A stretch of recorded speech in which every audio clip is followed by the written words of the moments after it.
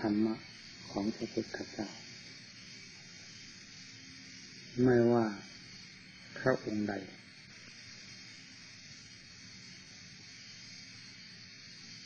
ไม่นิยม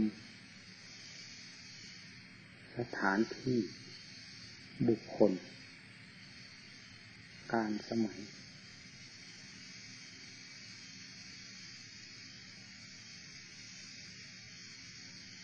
แต่ นิยมลงในหลักเหตุผลทั้งนั้น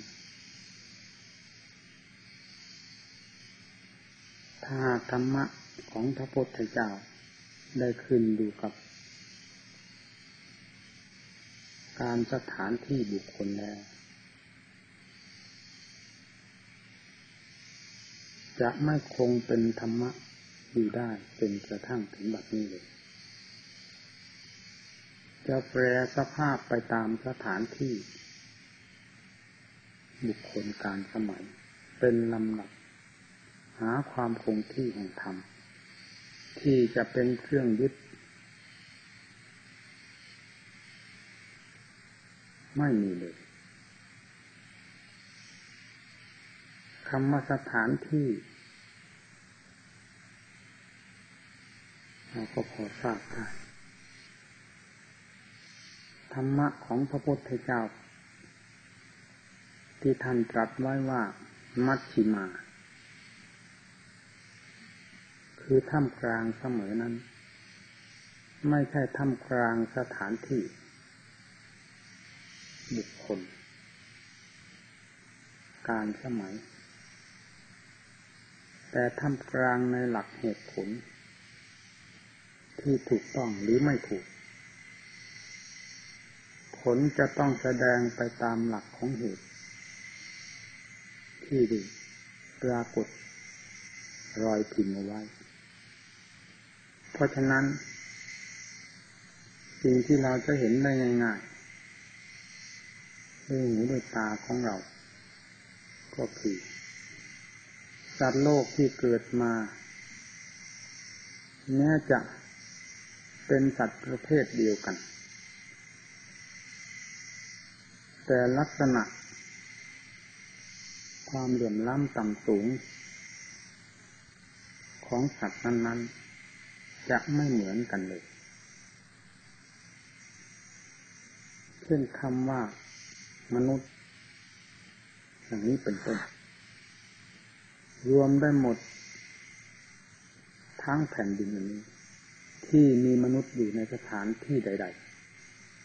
ให้ชื่อให้นามว่าเป็นสัตว์มนุษย์ด้วยกัน แต่ทยาศัยความรู้ความฉลาด ความสามารถมากน้อย ความมีความจน ความสุขความทุกข์ของมนุษย์เหล่านี้จะไม่เหมือนกันเลย มีขึ้นดูกับ ผลที่บรรดาผู้ก่อเหตุ ได้ทำเอาไว้ ถ้าผลจะขึ้นอยู่กับบุคคลแล้ว ผู้ต้องการ หรือประสงค์อย่างใด ผลจะต้องปรากฏมาเช่นนั้น โลกนี้จะไม่มีทุกข์ ประจำในสัตว์และสังขารและจะไม่มีคนโง่ สัตว์โง่ในโลก จะมีตั้งแต่สิ่งที่พึงปรารถนาทั้งนั้นทั่วไปในโลกนี้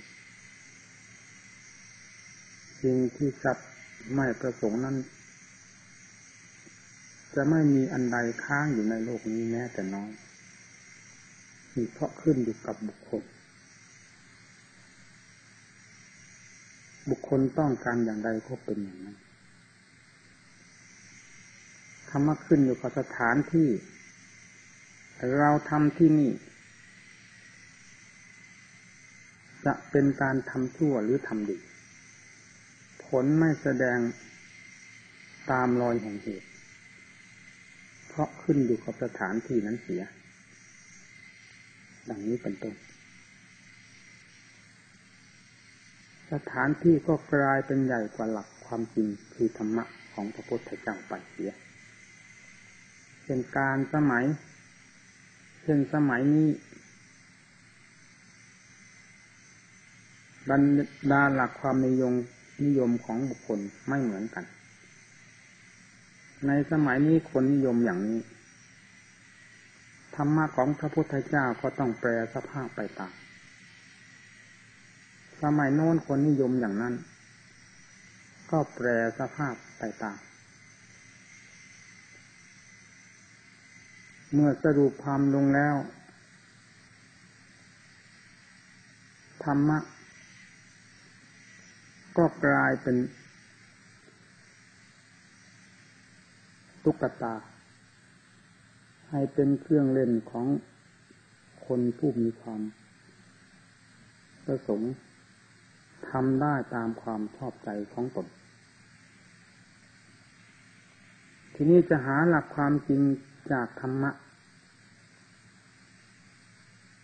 ซึ่งแทนที่จะเป็นของคงที่ แต่กลายเป็นของแปรสภาพไปตามความรู้ความเห็นตามสถานที่บุคคลไปเสียแล้ว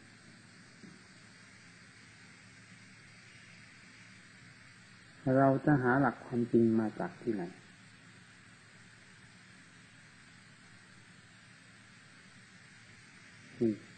ขอให้ท่านทั้งหลายได้ทราบ เพราะฉะนั้นคำว่ามัชฌิมา ที่พระองค์ประทานไว้แล้ว โปรดได้ทราบว่าขึ้นอยู่กับหลักแห่งเหตุเป็นของสำคัญ ยิ่งกว่าสิ่งใดๆ สถานที่บุคคลการสมัยไม่สามารถที่จะทำลายหลักแห่งเหตุที่ผู้ได้ทำไว้แล้วดีชั่ว ให้เสื่อมสูญหรืออันตรธานไปได้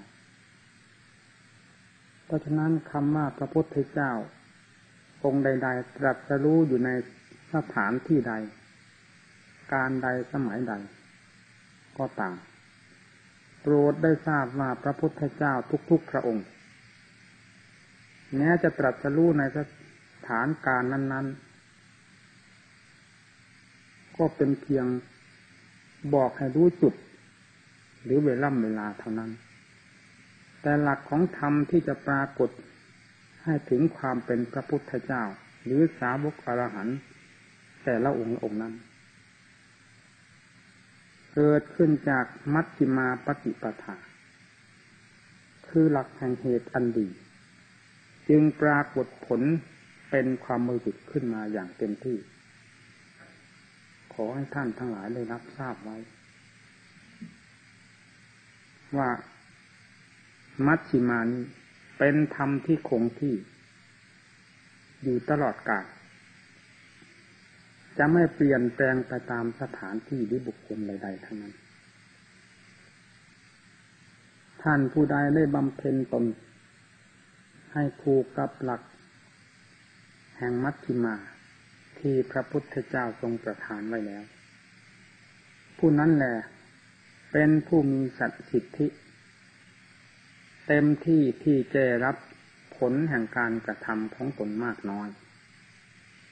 โดยไม่มีใครจะสามารถ มายักย้าย ผันแปรผลกับเหตุที่ตนได้ทำไว้แล้ว ให้แยกจากกันไปได้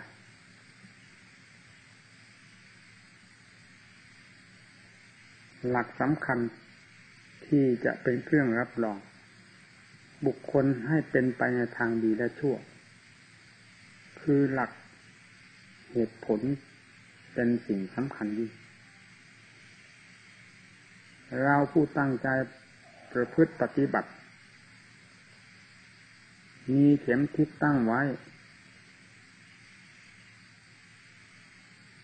ตามความมุ่งมั่นของตนจึงควรคำนึงถึงการประกอบเป็นของสำคัญ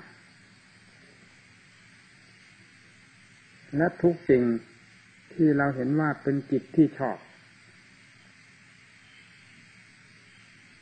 ซึ่งจะควรนำประโยชน์มาให้เราเท่าที่ควรแล้วโปรดได้เห็นว่ากิจนั้นเป็นกิจจำเป็น หรือเป็นกิจสำคัญ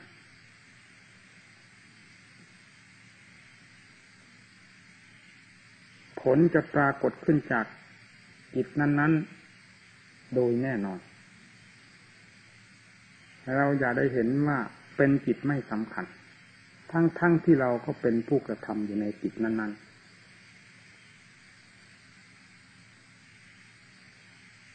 การกระทำทุกๆประโยคเฉพาะอย่างยิ่งในเรื่องของ ความเพียรของเรา ขอให้ถือเป็นจิตจำเป็น และเป็นจิตสำคัญ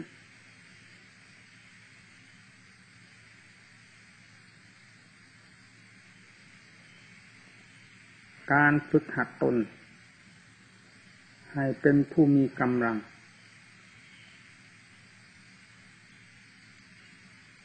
ทางด้านจิตใจ ให้เห็นทุกสิ่ง ที่เป็นธุระหน้าที่ของตนจะพึงกระท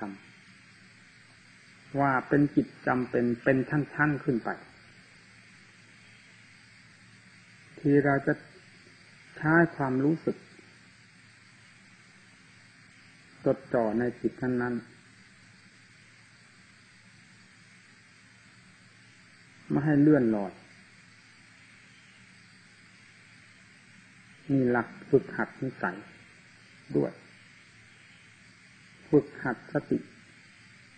ปัญญาของตน ให้จิตนั้นๆกลายมาเป็นความเพียรของตนได้ โดยทางภายใน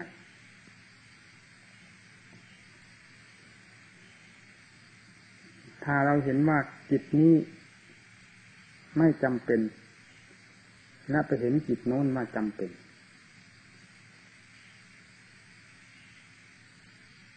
เรื่องการประกอบในจิตนั้น ๆ ก็ไม่มีกำลัง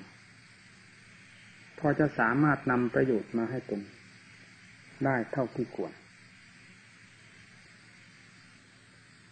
ผู้ใดที่มี ความรู้สึก เห็นทุกสิ่ง ที่เป็นหน้าที่ของตน จะควรกระทำว่าเป็นจิตจำเป็นด้วยแล้ว ผู้นั้นจะ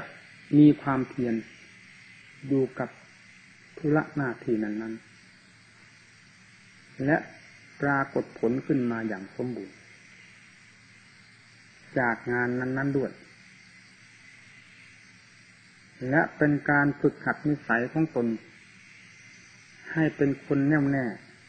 ต่อกิจการนั้น ๆด้วย เป็นการฝึกหัดสติปัญญาของตน ให้มีความรู้สึกหรือมีความรอบคอบ ต่อกิจการนั้น ๆ โดยความติดต่อกันเป็นลำดับไปด้วย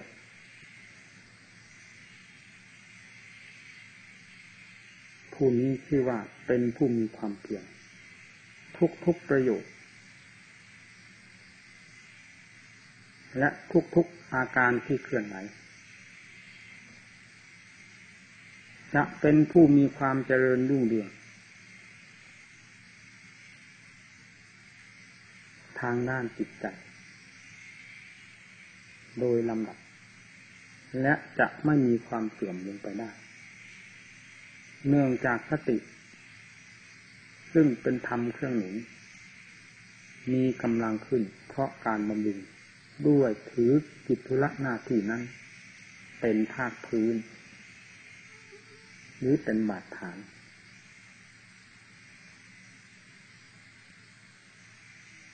อันหนึ่ง เรื่องทั้งหมด ผู้ประกอบความเพียร อย่าเห็นว่ามีนอกไปจากใจ จะแสดงเรื่องอดีต อนาคตและปัจจุบัน จะมีใจเป็นรากฐาน เป็นที่ก่อให้เกิดเรื่องทั้งนั้น ถ้าสติกับปัญญาได้ตั้งลง ในสถานที่เกิดขึ้นแห่งเรื่องทั้งหลายแล้ว เรื่องกับสติปัญญานั้น จะกลายเป็นธรรมขึ้นมา ให้ผู้นั้นได้รับผลประโยชน์ ทั้งๆทที่เรื่อง จะกลายเป็นเรื่องทำตนให้เสียอยู่แล้ว หรือจะทำจิตใจของตนให้ มีความมัวหมองหรือฟุ้งเฟ้อเหนแต่ก็กลับกลายมาเป็นธรรมคือความสงบ หรืออุบายต่างๆ ได้เพราะอำนาจของสติปัญญา เป็นเครื่องกลั่นกรอง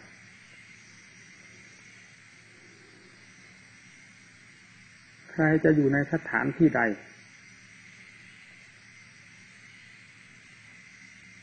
เรื่องสติกับปัญญาที่ประกอบเป็นองค์ความเพียรของตน อย่าให้ขาดวัดขาดตอน อยู่ที่ไหนเรื่องสติกับปัญญากับเรื่องที่เกิดจากใจ ขอให้มีความรู้สึกหรือทำความรู้สึกต่อกันเสมอ เรื่องที่ท่านกล่าวว่าสมุทัยนั้นจะเป็นเรื่องยืดยาวไปไม่ได้เหตุที่สมุทัยอันเป็นแดนติดทุกนั้น เป็นเรื่องยืดยาว และจนกลายเป็นเรื่องอัตโนมัติ ทำหน้าที่ของตน โดยที่เราไม่ได้ตั้งใจก็เนื่องจาก ความเคยสั่งสม เคยคิดเคยตุนขึ้นภายในจิตใจ เรื่องของสมุทัยจึงมีกำลัง จนกลายเป็นเรื่องอัตโนมัติ สั่งสมกิเลสขึ้นมา เผารนหัวใจของตน โดยไม่มีสถานที่ไม่มีการเวลา แม้ที่สุดกำลังเราทำความเพียรอยู่เผลอไปนิดเท่านั้น จิตที่เคยสั่งสมเรื่องนี้ จะต้องทำหน้าที่ของตนทันทีนี่อย่าพึงเข้าใจว่าเกิดขึ้นมาได้อย่างไร และเกิดขึ้นมาเพราะเหตุไหนหลักฐานสำคัญก็ หนึ่งเกิดขึ้นมาเพราะความเคยชินของจิตประเภทนั้น สองเกิดขึ้นมาเพราะความเผลอสติ ไม่ได้รู้เรื่องความเกิดขึ้นเช่นนั้นของจิต จึงเป็นเหตุให้สมุทัยสั่งสมกำลังขึ้น แล้ว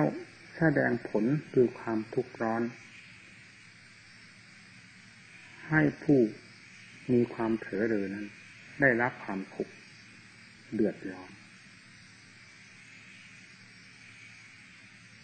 เรื่องของมรรคคือทางดำเนินเพื่อความพ้นจากเรื่องของสมุทัยหรือเครื่องแก้สมุทัย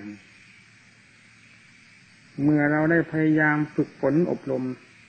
โดยวิธีที่กล่าวแล้วนี้ เรื่องสมุทัยจะทำหน้าที่สั่งสมทุกข์ให้มากมูลหรือยืดยาวไปไม่ได้ และเรื่องของศีลสมาธิปัญญา จะไม่เจริญงอกงามขึ้นได้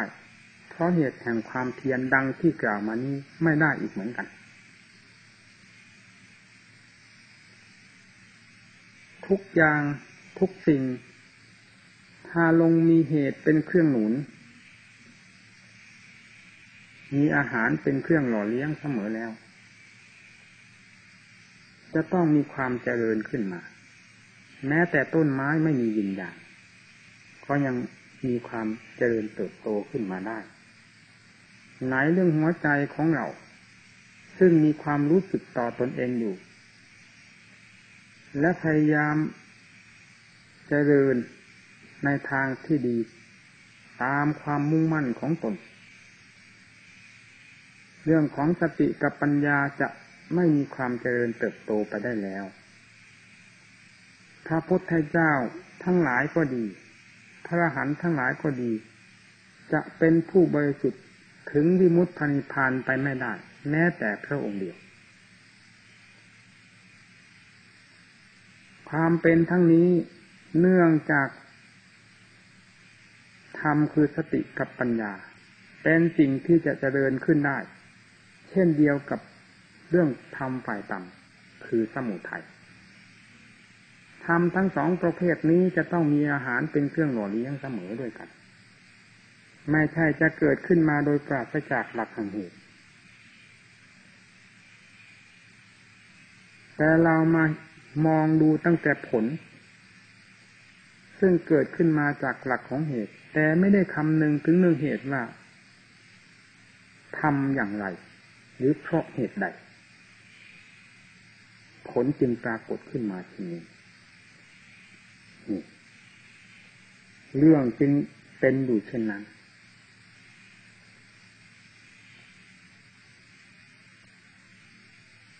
และคำที่ว่าพระพุทธเจ้าท่านสร้างพระบารมีหรือพระสงฆ์สาวกของพระพุทธเจ้าประกอบความภาคความเพียรโดยหาสถานที่สงัดวิเวก หาที่ประกอบความภาคความเพียรเดินจงกรมนั่งสมาธิภาวนาพุทธัดจิตใจของตน ทั้งหลายเหล่านี้ล้วนแนวตั้งแต่วิธีการของท่าน อบรมสติอบรมปัญญา ให้มีความเฉลียวฉลาด รู้เท่าทันกับธรรมฝ่ายต่ำซึ่งเขาเคยสั่งสมตัวเข้ามาเป็นเวลานาน แล้วจะได้ถอดถอนสิ่งเหล่านี้ด้วยความฉลาดของตน อันฝึกผลมาแล้วเช่นเดียวกัน ถ้าสติปัญญาได้รับการอบรมฝึกฝนด้วยดี จากท่านผู้บำรุงแล้ว ยังจะกลายเป็นสติปัญญาที่จเจริญรุ่งเรืองไปแน่แล้วในโลกนี้จะไม่มีคนดี อให้ท่านทั้งหลายได้ทราบไว้อย่างนี้หลักความจริงของพระพุทธเจ้านี้แลเป็นที่รับรอง คือเหตุอันเป็นแดนเกิด แดนเกิด จะเป็นเหตุดีเหตุชั่ว นั่นแหละเป็นของสัมผัส เหตุดีก็คือการบำรุงการกระทำความดี ด้วยความสนอกสนใจทำอย่างจริงจริงจังจัง เฉพาะอย่างยิ่งเราเป็นนักปฏิบัติ ไม่มีหน้าที่อื่นใดทั้งนั้น ที่จะต้องมาเป็นเครื่องเพิ่มกังวลหรือตัดรอนทางความเปลี่ยนของเราไม่ให้ดำเนินไปด้วยความสะดวก มีหน้าที่อันเดียวที่เราจะประกอบความเพียรเพื่อรู้เรื่อง ที่มีอยู่ในดวงใจของเราให้เห็นชัดไปโดยลำดับ เพราะอำนาจแห่งความเพียรที่มีสติกับปัญญาเป็นภาคพื้นอยู่เสมอ การบำรุงสติปัญญา ต้องบำรุงโดยวิธีที่กล่าวนี้ไปไหนให้มีสติ อะไรมากระทบทางอายตนะ ให้มีความรู้สึก รับรู้กับเรื่องที่มาสัมผัส แล้วค้นหาสาเหตุที่เกิดขึ้น ว่าสาเหตุที่ปรากฏขึ้นนี้จะเป็นไปในทางสร้างสมกิเลสหรือจะเป็นไปในทางแก้กิเลสเรื่องของสติเป็นผู้รับรู้เรื่องของปัญญาต้องเป็นผู้วินิจฉัย กับเรื่องที่มาสัมผัสในตัวเอง เมื่อความรู้สึก หรือความเพียรของเราได้เป็นไปอยู่กับเรื่องเช่นนี้ เราจะต้องรู้เรื่องมันยั่งค่ำคืนยั่งลุงเพราะเรื่องไม่ได้หนีจากความรู้ของเราสติกับปัญญาผู้วินิจฉัยเหตุผลก็มีอยู่กับเรา เหตุใดจะไม่รู้เรื่องที่ที่มีในตัวของเราถ้ากิเลสก็เกิดขึ้นกับใจ สติปัญญาก็กำบำรุงขึ้นที่ใจ แต่รับรู้กันไม่ได้แล้ว พระพุทธเจ้าจะสั่งสอนศีลสมาธิปัญญา เป็นเครื่องแก้กิเลสคือสมุทัยไปไม่ได้คำว่าทุกขังอริยสัจจัง สมุทัยอริยสัจจัง จนกระทั่งถึงมรรคอริยสัจจัง จะไม่มีธรรมส่วนใดเป็นของจริงขึ้นมา ให้โลกทั้งหลายได้กราบไหว้เคารพบูชาเลยธรรมที่ทำทั้งสี่ประเภทนี้เป็นของจริงก็คือจริงไปตาม เส้นทางของตน สมุทัยในเมื่อมีเครื่องกดดันออกมา ก็จะต้องเดินออกมาตามทางของตน ผลคือทุกต้องแสดงออกมาจากเรื่องของสมุทัยคำว่าสมุทัยมีเครื่องกดดันออกมานั้นคืออะไร รากฐานของสมุทัยคืออะไร นี่ได้เคยอธิบายให้ท่านผู้ฟังได้ทราบมาหลายครั้งแล้ว แต่เวลานี้จะยังไม่อธิบาย เพราะยังไม่ถึงจุดที่ควรจะอธิบาย เรื่องของทุกข์ใครจะไปตำหนิไม่ได้ เพราะสมุทัยเป็นแม่บทสำคัญผิดขึ้นมาแล้วจะไม่สำเร็จเป็นรูปร่างขึ้นมาเป็นไม่มีสมุทัยเป็นผู้ผิดให้ทุกปรากฏขึ้นอย่างเด่น ทั้งภายในกายและจิตใจของเรา ท่านจึงเรียกว่าเป็นของจริงมรรคคือข้อปฏิบัติที่จะกำจัดธรรมทั้งหลายเหล่านี้ ก็เป็นความจริงอันหนึ่ง มีหน้าที่ที่จะแก้สิ่งที่เป็นข้าศึกต่อตอนเองอีกเช่นเดียวกันฉะนั้นจงบำรุงธรรมเหล่านี้ให้มีขึ้น และเจริญขึ้นเป็นลำดับจากความเพียรของเราไม่ขาดว่าขาดต่อ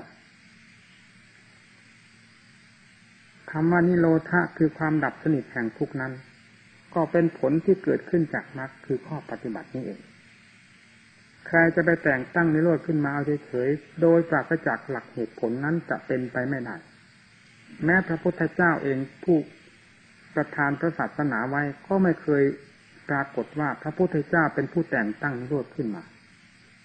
ได้โดยปราศจากหลักเหตุผล เพราะฉะนั้นหลักเหตุที่จะทำนิโรธให้แจ้ง ตามที่ท่านกล่าวไว้ คือศีลสมาธิปัญญา จึงเป็นธรรมสำคัญ ที่ผู้ปฏิบัติจะพึงสนใจในหลักของเหตุนี้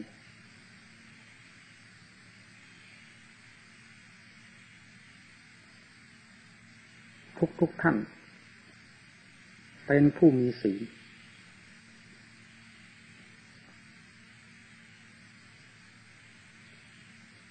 เพราะรักษาทางที่จะรั่วไหลออกไป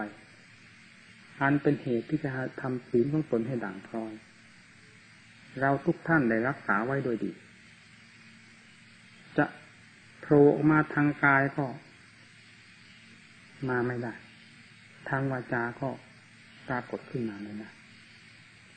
เพราะใจเป็นผู้เข้มงวดกวดขัน ในทางที่จะเดินออกมา แห่งความด่างพร้อยหรือความขาดทะลุของสีสีจึงกลายเป็นของปกติขึ้นมาได้ทำใจของตนให้ร่มเย็นคำว่ารักษากายรักษาวาจานั้นโปรดได้ทราบว่าทาง เดินของความชั่วจะผ่านออกมาทางกายทางวาจาเมื่อรักษาได้ทางทั้งสองนี้แล้ว ท่านเรียกว่าศีลคำที่ว่าศีลที่แท้จริงคืออะไร คนตายแล้วมีศีลหรือไม่ ถ้าว่ากายเป็นศีลวาจาเป็นศีลเนี่ยทุกทุกคนที่มีกายวาจาด้วยกัน ต้องมีศีลด้วยกันทั้งนั้น แต่ศีลนั้นมีอยู่กับคนจริง แต่คนไม่มีศีลนี่สำคัญ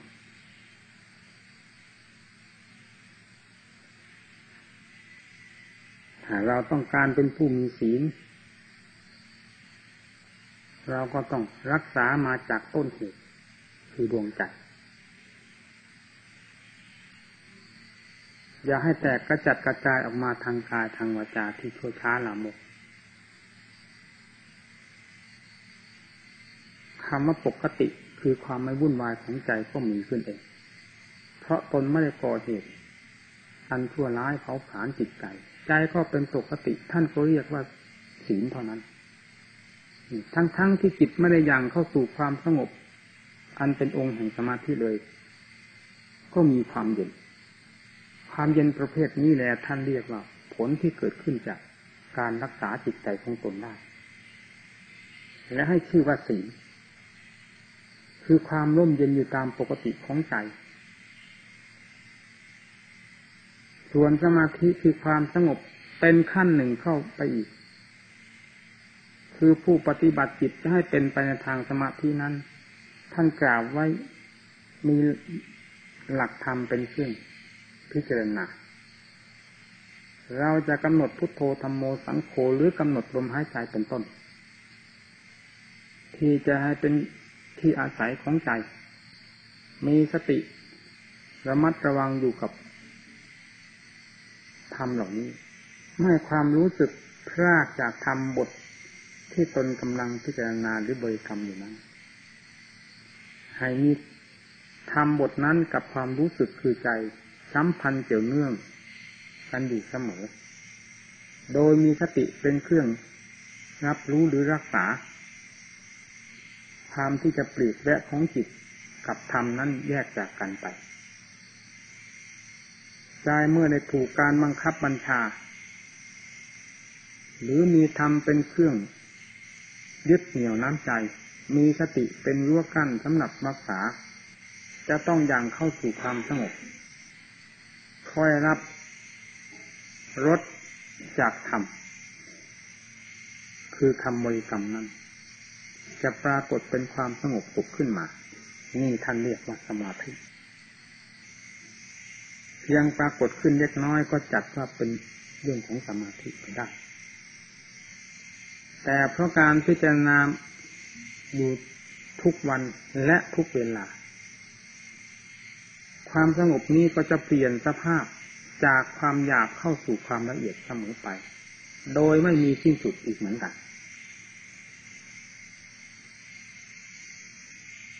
เมื่อจิตของเราได้มีความมั่นคงต่อตอนเอง เบื้องต้นก็มีความเยือกเย็น คิดไปในทางเรื่อง ความด่างค้อยแห่งศีลที่จะออกมา ทางกายทางวาจาก็ไม่มี ใจก็มีความเย็นเนี่ย เป็นธรรมเครื่องหนุนสมาธิให้เกิดได้ เพราะไม่มีอารมณ์เครื่องกั้นกลางที่ท่านเรียกว่านิวรณ์มีหน้าที่หรือความรู้สึกอันเดียวเท่านั้น ที่จะต้องกำหนดพิจารณาจิตใจของตนกับบทธรรมให้สัมพันธ์เกี่ยวเนื่องกันอยู่ใจก็อย่างเข้าสู่ความสงบเป็นลำดับลำดับ เมื่อถอนขึ้นมาแล้วก็ตั้งใหม่ พิจารณาเข้าไปอีกจิตก็เข้าสู่ความสงบได้อีก และนานเข้าเป็นลำดับ ละเอียดเข้าเป็นลำดับนี่ท่านเรียกสมาธิ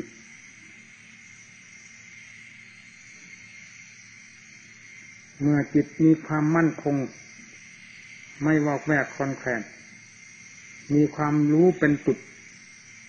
ที่ว่ารวมกระแสของความรู้ ซึ่งแต่ก่อนเคยพุ่งซ่านวุ่นวาย เข้ามาสู่จุดเดียวปรากฏเป็นจิตที่มีกำลังขึ้นมาเราจะนำความรู้อันเป็นไปกับด้วยความสงบนี้ ออกพิจารณาสภาวธรรมส่วนใดจะเป็นอาการแห่งกายของเราอาการใดก็ตาม ยอมจะมีความรู้สึกกับอาการนั้นได้ชัด เราจะพิจารณาหมดทั่วสันพางร่างกายนี้ ความรู้สึกนั้นจะรวมตัวอยู่กับสันพางร่างกายนี้เท่านั้น จะไม่แยกออกสู่ภายนอกเลย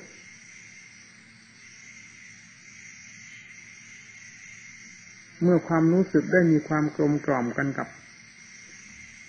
อาการแห่งกาย จะเป็นส่วนใดก็ตาม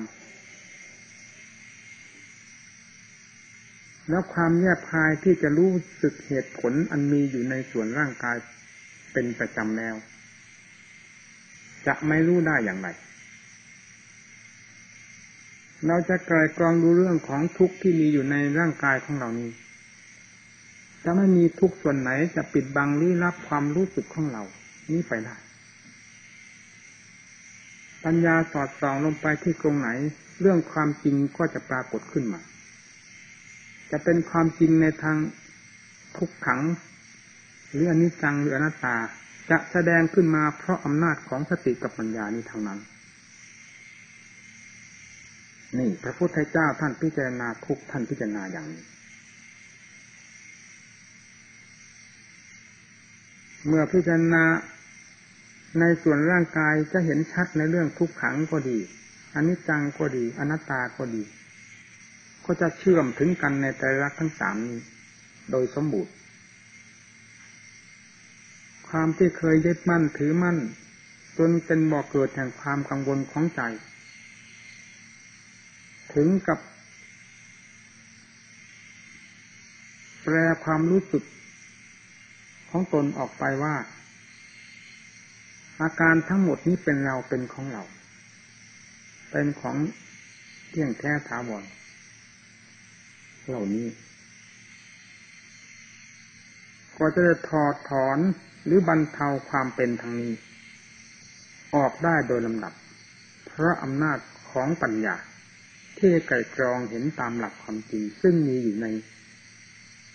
ไตรลักษณ์อันประจำอยู่ในส่วนแห่งร่างกายของเรานี้ทุกชิ้น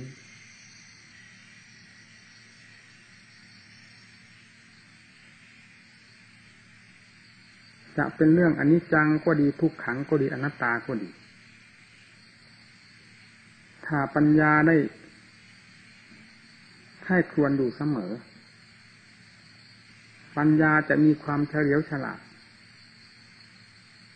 เห็นทุกข์ก็จะเห็นชัดเป็นลำดับอันนี้จังทุกขังหรืออนัตตา จะเห็นชัดเป็นลำดับไป ความเห็นทุกข์ก็ไม่มีสิ้นสุด ความเห็นอนิจจังก็ไม่มีสิ้นสุด ความเห็นอนัตตาก็ไม่มีสิ้นสุด เพราะอำนาจของปัญญา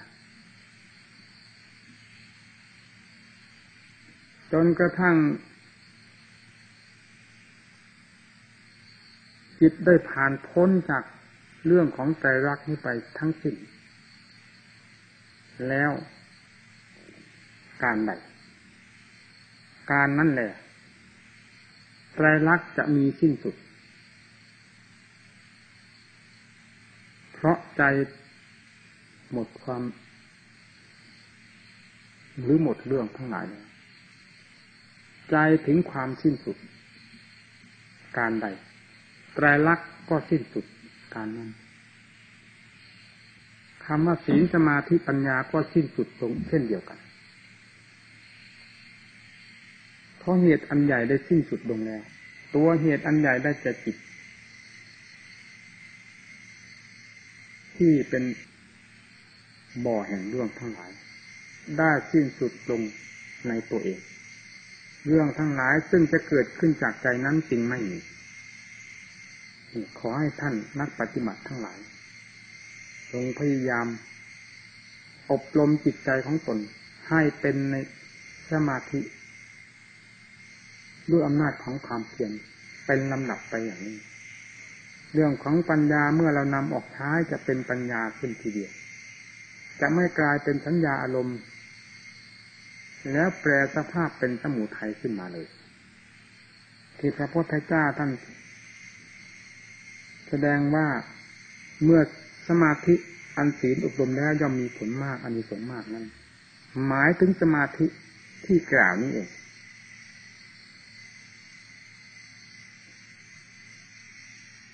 คำที่ว่าอนิจจังทุกขังอนัตตา นี่มีสองภาค ภาคในส่วนแห่งร่างกาย ซึ่งเป็นด้านวัตถุด้วยกัน จะเป็นภายนอกภายใน นั้นประเภทหนึ่งไตรลักษณ์ของนามธรรมคือนับแต่เวทนาสัญญาสังขารวิญญาณเข้าไป จนกระทั่งถึงบ่อแห่งเรื่องนี่ก็ต้องพิจารณาเป็นไตรลักษณ์ ประจักษ์กับปัญญาอีกเหมือนกัน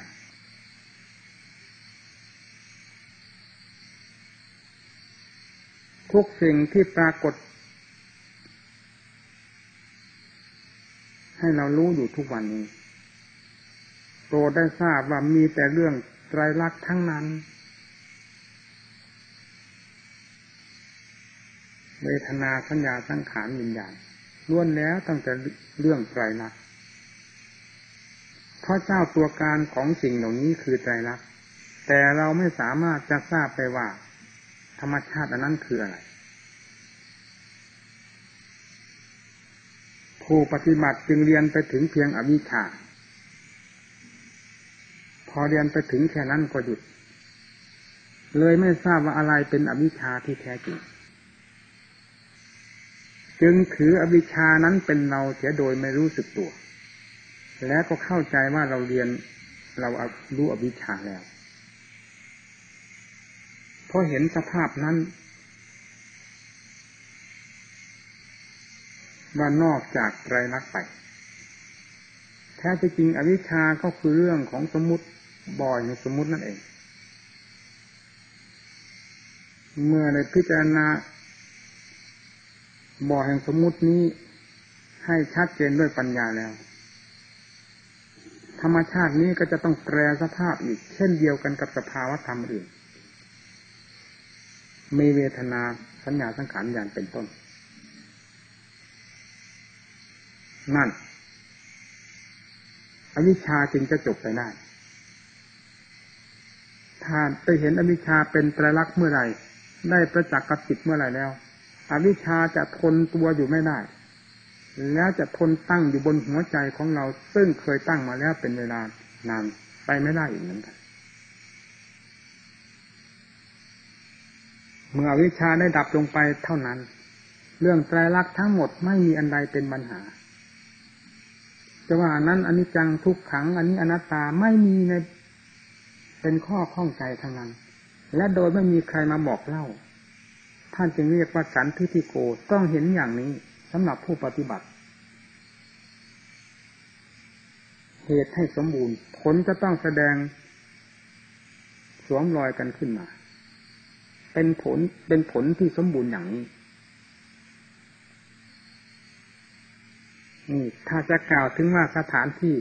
ก็ให้หมายหมายถึงสถานที่ที่เป็นบอกเกิดของเรื่อง เป็นของสำคัญยิ่งกว่าสถานที่อื่นใดทั้งนั้น ถ้าจะกล่าวถึงเรื่องของบุคคลก็หมายถึงบุคคลผู้ทรงไว้ซึ่งความโง่อย่างเต็มตัวนี่เอง เป็นบุคคลที่โง่ที่สุด เป็นบุคคลที่จะได้แบกทุกทรมานตนอยู่โดยไม่รู้สึกตัว และไม่สามารถจะนับได้ว่ากี่กับกี่กันที่จะต้องแบกทุกนี้อีกต่อไป นี่ถ้าเราจะพิจารณาธรรมของพระพุทธเจ้า ขึ้นอยู่กับสถานที่บุคคลก็ให้หมายถึงตัวของเราเอง สมัยก็หมายถึงสมัยที่อวิชชาครองตัวอยู่นั่นเอง เป็นสมัยที่เดือดร้อน เป็นสมัยที่ได้รับความลำคาญทนทุกข์ทรมานอย่างยิ่ง สมัยใดที่อวิชชาได้ แต่ก็จะกระจายไปเพราะอำนาจของมรรคมีกำลังได้ทำลายแล้วนั่นเป็นสมัยที่ร่มเย็นที่สุดให้หมายอย่างนี้ ถ้าจะเราจะหมายถึงเรื่องศีลสมาธิปัญญา ก็ให้หมายถึงตัวของเรานี่ เราอย่าไปหมายสถานที่โน้นสถานที่นี้ มาธรรมะจะอยู่ที่โน้นกิเลสจะอยู่ที่นั่นกิเลสไม่เคยมีสถานที่ ไม่เคยมีสมัย ไม่เคยนิยมกับบุคคลผู้ใด ใครสร้างเหตุเพื่อกิเลสแล้วกิเลสต้องเป็นเรื่องของคนนั้น สร้างที่ไหนเวลาใดต้องเป็นเรื่องของกิเลสจะเป็นสมบัติของคนนั้นทันที เราจึงไม่จำเป็นจะต้องพิจารณา ไปถึงสถานที่การสมัย ว่าสมัยโน้นมรรคผลนิพพานมีสมัยนี้ไม่มี แต่เรื่องของกิเลสมันเป็นสมัยใดบ้างเราไม่คำนึงมันจึงเป็นเหตุให้แพ้กิเลสเสมอไปกิเลสไม่เคยมีสมัยไม่เคยมีการไม่มีเวลาเวลาว่าสมัยโน้นกิเลสมีสมัยนี้กิเลสหมด สถานที่โน้นกิเลสมีสถานที่นี้กิเลสหมด บุคคลนั่นกิเลสมีบุคคลนี้กิเลสหมด ไม่มีทั้งนั้น มันมีอยู่กับบุคคลผู้สั่งสมกิเลสขึ้นมา ไม่ว่าการใดสมัยใดสถานที่ใด บุคคลผู้ใดที่ทำขึ้นกิเลสต้องเป็นสมบัติของคนนั้นทันทีเรื่องของมัชชิมาก็โปรดได้เทียบกันลงในตัวของเรานี้ สมัยใดที่มีศีลมีสมาธิมีปัญญา สมัยนั้นแหละ เป็นสมัยที่เราจะแก้กิเลส บุคคลนั้นแลเป็นผู้จะแก้กิเลส สถานที่นั้นแลเป็นสถานที่แก้กิเลส สถานที่มีศีลสมาธิปัญญานั้นนี่ให้พากันเข้าใจอย่างนี้ อย่าไปคว้าอดีตอนาคตผิดจากหลักความจริงของพระพุทธเจ้าที่สอนลงไว้กับหลักเหตุผลโดยถูกต้อง กิเลสเกิดในสถานที่ใดให้แก้กิเลสลงในจุดนั้น โดยไม่ต้องไปคำนึงถึงสถานที่บุคคลไหน ให้ผิดจากหลักธรรมของพระพุทธเจ้าไปศีลเป็นเครื่องแก้กิเลสประเภทหนึ่ง สมาธิเป็นเครื่องแก้กิเลสประเภทหนึ่งปัญญาเป็นเครื่องแก้กิเลสประเภทหนึ่ง กิเลสประเภทเหล่านี้มีอยู่ที่ไหน และศีลสมาธิปัญญาใครเป็นผู้จะบำรุงให้เกิดมีขึ้น นอกจากสถานที่หรือบุคคลสมัยในตัวของเราคนเดียวเท่านั้น มันพร้อมอยู่ที่นี่หมด ขอให้โอปัญิโก น้อมเข้ามาในตัวบุคของเรา ทุกอย่างมีอยู่ที่นี่หมด กองทุกก็ไม่มีอยู่ตามสถานที่บุคคลสมัยใดทั้งนั้น เพราะเกิดขึ้นจากหลักเหตุคือกิเลสเป็นเครื่องถิดทุกข์ขึ้นมา มันมีอยู่กับตัวของเราให้กำหนดพิจารณาลงที่นี่เมื่อได้รู้กันที่นี่แล้ว เรื่องศีลสมาธิปัญญาก็ดี เป็นธรรมของจริงขึ้นประเภทหนึ่งไตรลักษณ์ก็เป็นของจริงประเภทหนึ่ง หรืออริยสัจสรุปความลงแล้วว่าทุกสมูทัยนิโรธมรรคต่างก็เป็นธรรมะของจริงอยู่ด้วยกันไม่จะตำหนิตีคมซึ่งกันและกัน ตามที่เคยเป็นมาของจิต ธรรมชาติที่บริสุทธิ์เพราะอำนาจของศีสมาธิปัญญาที่แก้สมุทัย ให้หมดไปแล้ว นั่นก็เป็นธรรมชาติที่จริงอันหนึ่งนั่นท่านเลยว่าจริงนิมุตคำว่าจริงนิมุตมีอยู่ที่ไหนอีกที่นี่เหตุอยู่ที่ไหนยิมุตจะนอกจากเหตุไปอีกไม่ได้เหมือนกัน เนี่ยก็ลงมาจุดเดียวกันอีก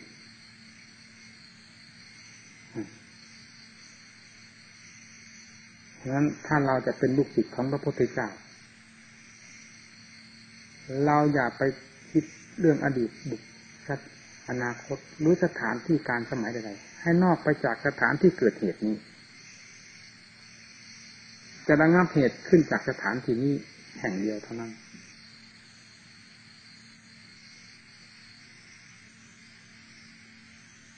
การแสดงธรรมก็เห็นว่าจะสมควรดังนั้น ขอให้บรรดาทุกทุกท่านที่ได้มุ่งหน้ามาศึกษาโปรดได้ดูเข็มทิศของตนที่ตั้งไว้เพื่อจิตประสงค์นั้นนั้นกับพอวัดปฏิบัติของตนที่จะดำเนินไปตามเข็มทิศของตน ให้ไปในร่องรอยอันเดียวกัน โดยความภาคเพียรของเราอย่าลดละผลที่ เราทุกท่านจะพึงได้รับจะพ้นไปจากเข็มทิศที่เราตั้งไว้ และข้อปฏิบัติที่เราดำเนินตามเข็มทิศนั้นไปไม่ได้ในวสารนี้แห่งแห่งธรรมเทศนาความนาจแห่งวิญญาณุภาพขององค์สมเด็จพระภูมิพระภาคเจ้าพร้อมทั้งประธรรมและประสงค์จงเป็นบรรดาให้ท่านทั้งหลาย ได้บำเพ็ญตนด้วยความสะดวกกายสบายใจ เป็นถึงจุดหมายปลายทาง คือแดนแห่งมุดเหตุพ้นจากเหตุผลทั้งหลาย โดยทั่วหน้ากันเธอ